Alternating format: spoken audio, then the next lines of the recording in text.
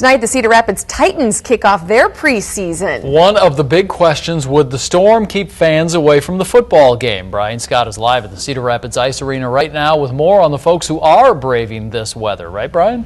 Well, that's right, Jack. We're just outside the stable right now, and if you're a Minnesota Vikings fan like me, you're used to a dome over your head.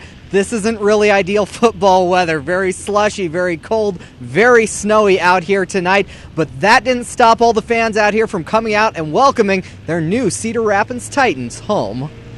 A hot crowd and some arena football action is all it takes. Forget about the sloppy mess outside. Titans fans came from near Linn-Mar, Marion area. and far They're down from Urbana, yep. to see their new team play despite the sloppy weather outside. A little slippery at parts, but not, nothing unmanageable. Wasn't that bad though. It wasn't, just a little slick. As far as driving, it was actually really good because the interstate was good, but we left early.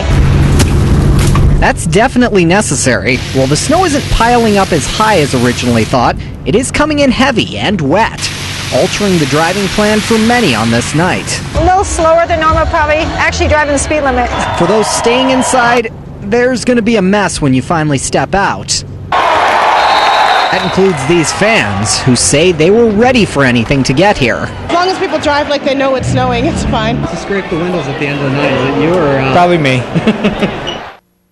And you can see as a lot of the fans are leaving behind me, people are going a little bit slower than normal and taking it easy. The roads are still pretty slushy out here and pretty slick as a result. So definitely, if you are hanging out tonight, keep that in mind. Now, as for the big game in t- inside tonight, the big preseason game, unfortunately, I am going to spoil it for you.